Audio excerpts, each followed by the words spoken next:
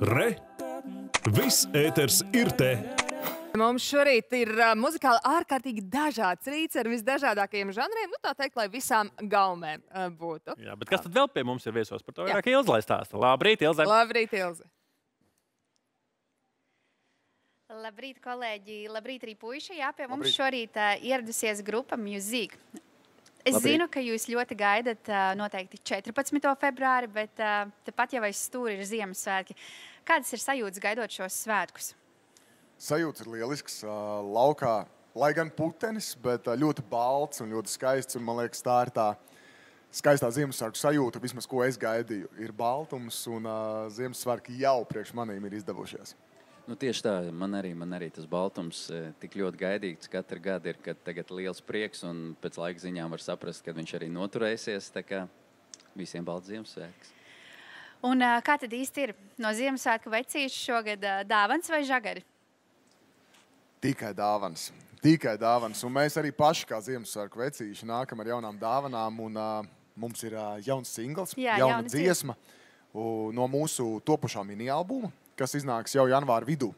Uh, līdz ar to mēs uh, kārtīgi gatavojamies šim notikumam. Un, uh, tāda skaista sinerģija, līvu dziesmas apvienojumā ar mūsu dziesmām. Un tad uh, kopēji jā, ir radies arī jauns gabals, uh, kurš, uh, kurš, kurš, kurš, es domāju, paķers, ā, paķers ā, daudz cilvēku sirdis un arī Ziemassvētkos iedos tādu savu foršu kustību klāt. Par ko ir jaunā dziesma?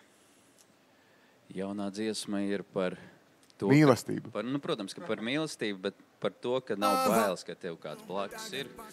Un ar to cilvēku tad kopā ir viegli pārlikt jebkurai plaisiņai. un, un, un, un, un, un, jā. Par to, ka nav bailes, ka, ka, ka tev ir klāt un ka tu zini, ka tev vienmēr atbalstīs kāds. Un tad nu vairāk par to Valentīnu dienu. Kas tad īpaši būs 14. februārī? Jā, mēs esam aizvadījuši jau trīs ā, mūsu koncerta sērijas koncertus. Un, ā, nu, ir laiks ā, Rīgas lielajam koncertam, ā, šīs koncerta sērijas noslēgumam 14. februārī Palādījuma Rīga. Ā, Būs skaisti, būs ā, jaunās dziesmas, līdz tam jau būs iznācis arī mūsu mini-albums, būs jaunas dziesmas, būs tādas dziesmas, kuras paši varbūt mēs jau bijām nedaudz piemirsuši. Un, protams, būs arī tādi lielākie un grandiozākie hiti no mums. Tā kā būs, es gribētu teikt, tāds nedaudz intīmāks, romantiskāks un ļoti skaists koncerts tieši Valentīna dienā. Es gribētu teikt, ka jums tā diezgan ražani sāksies jaunais gads, bet varbūt pāris vārdos, kādi ir tie mērķi un apņemšanās jaunajam gadam kopumā? Jā, vēl es nemaz neesmu ķēries klāt Saraksts savam jums nav uzrakstīts, jā? rezolūcijai, jā, bet uh, mazāk slinkot uh, un vairāk darīt. Droši vien, droši vien varētu teikt tā.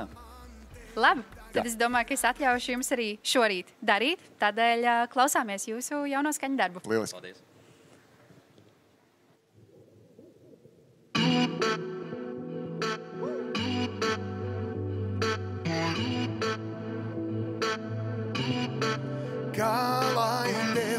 Tagad paskaidro, ko mana sirds pret tevi jūt?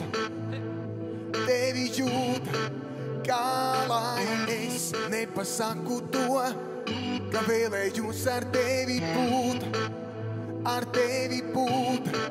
Kā man tev tagad pierādīt, kā es atgriezīšos rīt, atgriezīšos rīt. Kā man tev tagad paskaidrot, ka mēs aizmirst nespējam neko? Ar tevi kopā man nav bail.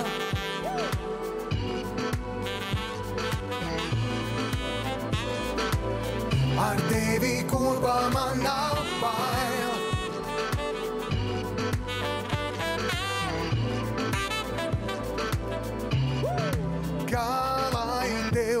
Tagad paskaidro, ko mana sirds pret tevi jūt? Tevi jūt, kā lai es nepasaku to, ka vēlējos ar tevi būt, ar tevi būt. Kā man tev tagad pierādīt, kā es atgriezīšos rīt, atgriezīšos rīt. Kā man tev tagad paskaidrot, ka mēs aizmirst nespējam neko. Ar tevi kopā man nav bail.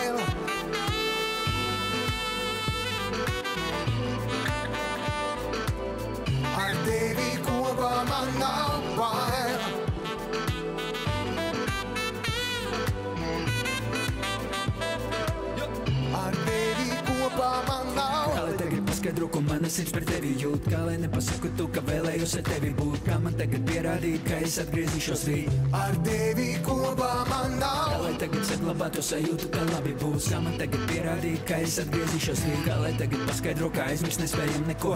Ar tevi kopā man nav bail.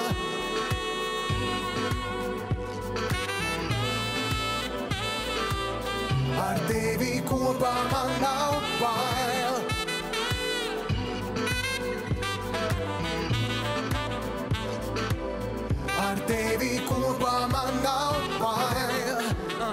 Tikai tu un es, divas dvēseles uz šīs pa, pa, pasaules.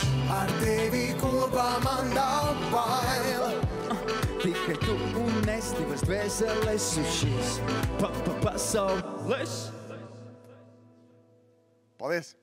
Paldies jums! Es novēlu, lai jums ā, viss gads ir ā, tikpat darbīgs, darbīgs kā būs ā,